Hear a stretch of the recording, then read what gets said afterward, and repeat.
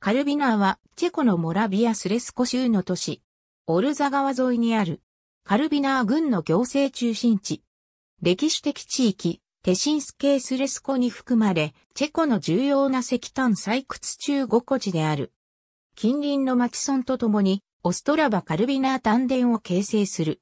人口の8.5%がスロバキア人、8%がポーランド人である。この人口は歴史的に減少している。一方で、ロマ人口が増加している。19世紀まで、カルビナーは重要なフリシタートの町近郊の重要性の低いテシンスケースレスコの乾村だった。石炭の発見がカルビナーや周辺の村々の急速な発展を招き、鉄道路がすぐ建設された。1920年にデシンスケースレスコが分割された後、国の主要工業中心地としてチェコスロバキアの一部となった。1923年に首となった。